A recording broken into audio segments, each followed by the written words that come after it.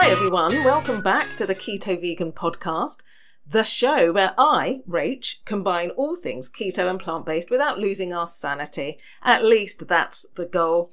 Today, I'm talking about macros. Yes, what are they? They are the magical percentages of carbs, fats, and proteins that we need to know how many to use of and know exactly how to get this right. So, how on earth do we get this right? Now, what are macros? They are the building blocks of the different things that go into your body through food. So they're really important.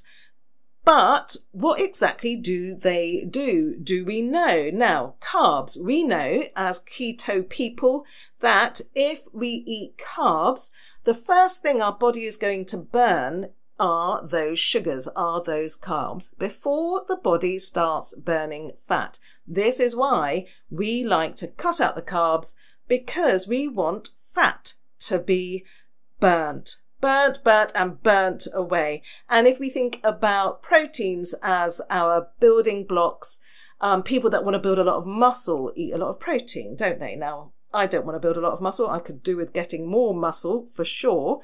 I could do with doing more exercise for sure. But what is the real challenge here? Figuring out how much of each we need without feeling like we need a maths degree. So, I have been testing out all these free keto calculators, and let me tell you, each one seems to come up with slightly different answers. I am putting in that I am female, that I am 53 years old, I'm putting in my weight in pounds. I'm putting in my height, five foot three. I used to be five foot four. I'm assuming I've shrunk a little bit. Actually, I used to be five foot three and three quarters, but I did like to round up. Using these websites, it seems to be like asking three friends for directions, and each one says, Trust me, I know a shortcut. So here's the deal it's okay if you're not spot on every day.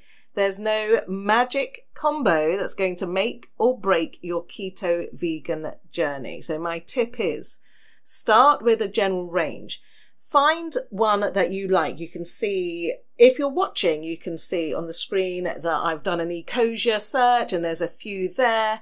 I'm showing you as well the results that are all different for each of them for and I've been putting in exactly the same information. Find the one that just find anyone. I don't think it really matters.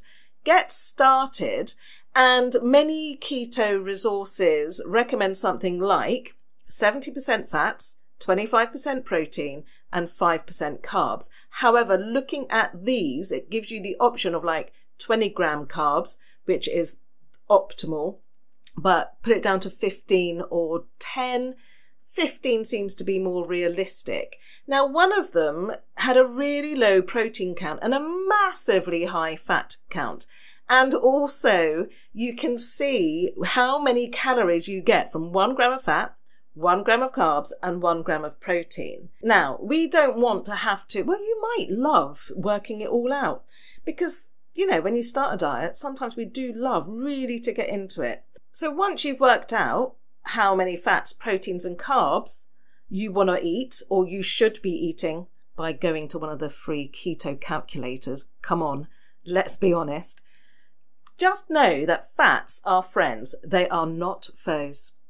So fats are the key player in keto because they are running the show. Think of them as the fuel tank, except instead of gas, you're filling up on things like avocados and oils and nuts and coconut oil and those almond butter and stuff like that. Not peanut butter, more about that next episode.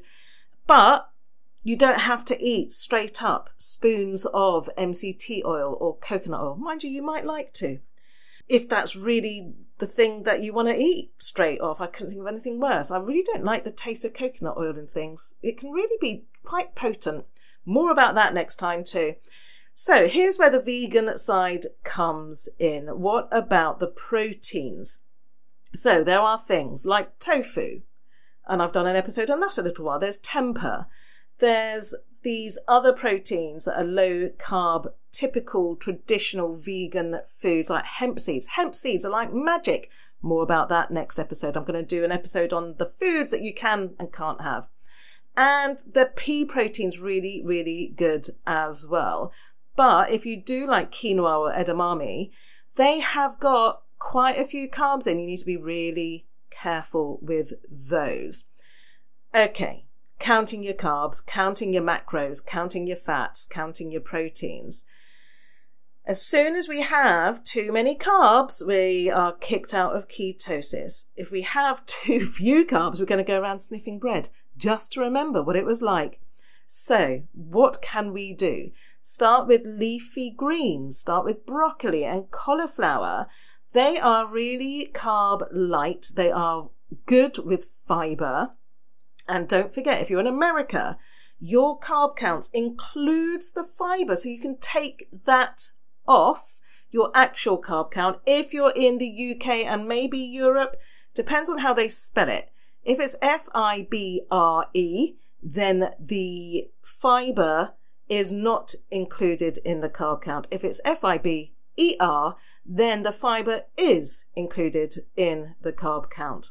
Finding your macro balance, your fats, proteins, and carbs, is a little bit like a dance. I would say focus on the carbs.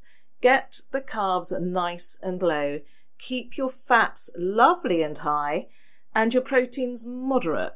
If you want to be really particular about it, then do be particular. And after you've done it, after you've done the diet for a couple of weeks, you will get really used to what you can and can't have.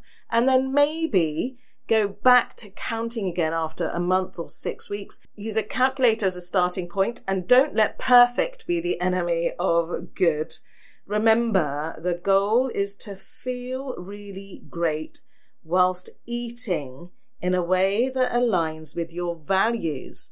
Next episode, I'm going to answer questions like Is hummus keto? And I'm going to talk about some great proteins as well in the episode after that. Thank you for listening. Hit follow, do subscribe, contact me with what you want me to talk about. See you next time.